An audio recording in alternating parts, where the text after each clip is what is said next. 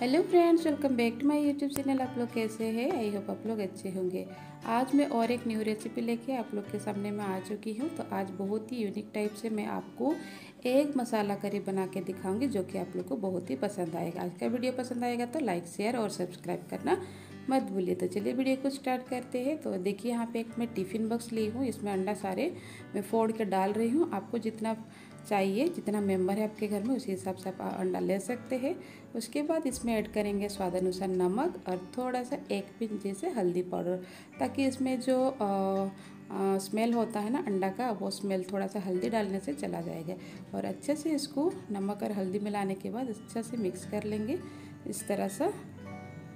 तो tiffin box लेने का कारण है इसको बॉईल करेंगे ताकि इसके अंदर में पानी ना चला जाए। और आप टिफ़िन बॉक्स से लीजिएगा और उससे पहले ना टिफ़िन बॉक्स के अंदर में थोड़ा सा तेल लगा लीजिए।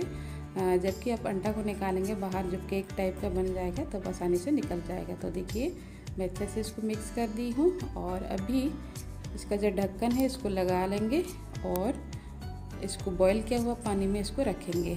तो चलिए, यहाँ पे एक कढ़ाई में मैं पानी दो गिलास गर्म कर रही हूँ और ये बॉईल होना स्टार्ट हो गया है।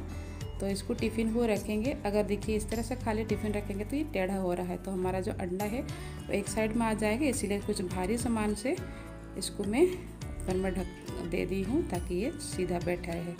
तो 15 से 20 मिनट इसको इस तरह से छोड़ देंगे ताकि अच्छे से हमारा अंडा जो है कुक हो जाएगा। तो 15-20 मिनट के बाद देखिए, चलिए मैं आपको टिफ़िन का ढक्कन निकाल के दिखा देती हूँ। तो आप ध्यान से इसको निकालिएगा, क्योंकि ये टिफ़िन बहुत ही गर्म है। थोड़ा हल्का ठंडा होने के बाद इसको निकालेंगे। तो देखिए, हमारा अंडा देखिए बहुत अच्छे से कुक हो गया है और केक जैसा सेट हो गया है। तो इस तरह से चाकू की मदद से साइड को इस तरह से कट कर लेंगे। तो मैं इस टिफ़िन के अंदर में इसको स्क्वायर स्क्वायर काट के निकाल रही हूँ। आप चाहे तो प्लेट में निकाल सकते हैं, उसके बाद कट कर सकते हैं। तो आपको जो भी शेप पसंद है, उसी शेप में आप कट कर सकते हैं। तो मैं यहाँ पे स्क्वायर शेप दे रही हूँ। देखने में भी सुंदर है और खाने में तो बिल्कुल भी बच्चे लोग को पता नहीं चलेगा। पनीर है या अंडा है। तो चलिए मैं इसको कट के निकल देती हूँ। तो देखिए, सारे अंडा जितना मैं बॉईल की थी, उसको मैं इस तरह से स्क्वायर स्क्वायर में कटिंग करके निकाल दी हूँ। चलिए इसको मैं फ्राई कर देती हूँ। तो कढ़ाई में तेल लेंगे दो से तीन चम्मच। तेल गर्म होने के बाद जितना भी हम लोग पीस पीस करके काटे थे अंडा, उसको फ्राई कर लेंगे। तो ये एक करी का बहुत ही यूनिक रेसिपी है फ्रेंड्स आप लोग ज़रूर अपने घर में बनाइएगा, खाइएगा, बहुत ही टेस्टी रेसिपी है।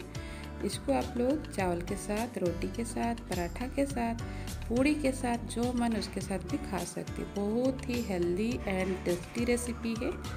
तो सारे अंडा को अच्छे से फ्राई कर लेंगे। थोड़ा सा गोल्डन ब्राउन कलर होने तक। इसको फ्राई करने में दो से तीन मिनट टाइम लगता है। दोनों साइड फ्राई कर लेते हैं। तो देखिए, हमारा अंडा बहुत अच्छे से फ्राई हो चुका है। इसको एक प्लेट में निकाल देते हैं। तो देखिए, कितना अच्छा से लग रहा है। बिल्कुल पनीर जैसे लग रहा है। तो चलिए, मैं एक प्लेट में निकाल लेती हूँ।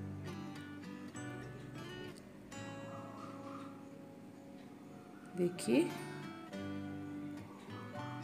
सारे अंडा को मैं निकाल दी हूँ। अभी उसी कढ़ाई में करी बनाएँगे। तो उसी कढ़ाई में थोड़ा सा कड़ी खड़ी मसाला ऐड करेंगे।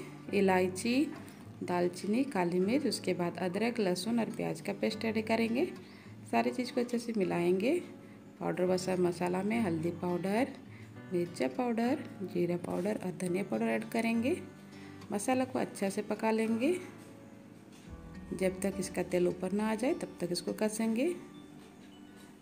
इसमें मैं फ्रेंड्स, एक चम्मच चिकन मसाला ऐड की थी। आप चाहे तो इसको ऐड कर सकते हैं, नहीं तो स्किप भी कर सकते हैं। चिकन मसाला ऐड करने से थोड़ा सा स्वाद बहुत अच्छा आता है।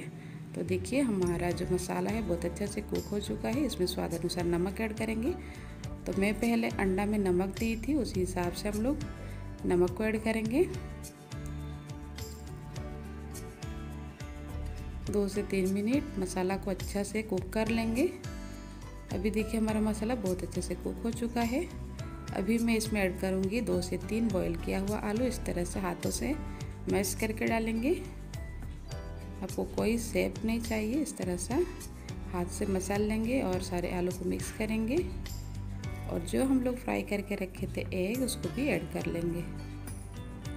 और अच्छे से मिक्स करेंगे और जितना आपको झोल चाहिए, उसी हिसाब से हम लोग पानी ऐड करेंगे। तो देखिए, इसमें मैं हाफ़ ग्लास जैसे पानी ऐड कर रही हूँ। ये देखिए, और एक बॉयल आने तक इसको छोड़ देंगे, ताकि जितना भी मसाला है, वो अंडा में अच्छा से मिल घुल जाएगा और हमारा जो करी है, स्वादिष्ट बन के रेडी हो जाएगा। तो हमारा करी बन के रेडी हो गया। आई होप आज का रेसिपी आप लोग को पसंद आया होगा।